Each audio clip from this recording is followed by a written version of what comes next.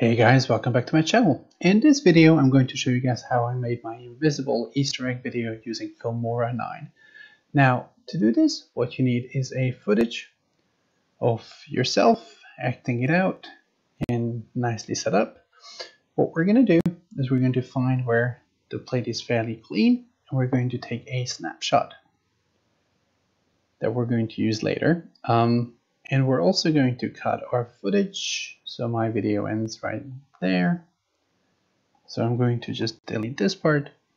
I'm also going to do the same with the beginning. So my video starts right there. I'm going to trim right over here and then delete. Now, one of the things that you immediately notice is that I used a green screen. So what we can do is use a chroma key on the egg. But what it does is that it also kills all the color everywhere else. So we'll need to put first an image mask on it, which I'll show you how to do.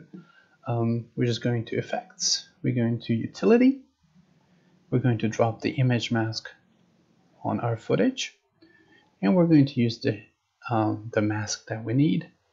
And you notice here that there's a lot of green in this part of the video.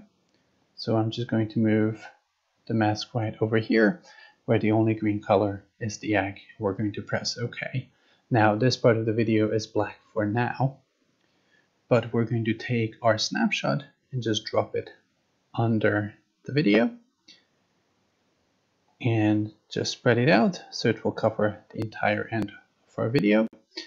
And when we're done with this, now we go back to the chroma key and remove the green and you can play with the offset a little to make it disappear a little more but obviously be mindful about the spill and when you're done we're going to put on a little shake effect um, and then uh, the you're going to get to the final footage which is this. Enjoy. Easter is a lot of fun if you're a filmmaker because when you do your Easter egg hunt some of them you can see. But some of the eggs are invisible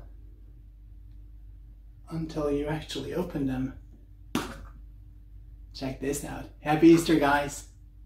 Thank you guys for watching. Bye. Easter is a lot of fun if you're a filmmaker because when you do your Easter egg hunt, some of them you can see. But some of the eggs are invisible until you actually open them. Check this out. Happy Easter, guys.